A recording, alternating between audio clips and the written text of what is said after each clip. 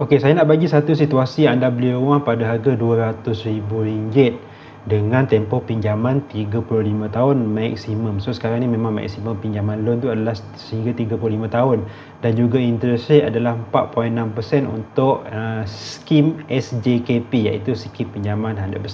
So berapa berapa uh, jumlah bayaran yang anda perlu bayar setiap bulan dan total profit bank yang anda perlu tahu. So pinjaman RM200,000 35 tahun uh, interest adalah sebanyak 4.6% anda perlu membayar sebanyak RM958 sen. So banyak 958.94 yang anda perlu bayar setiap bulan.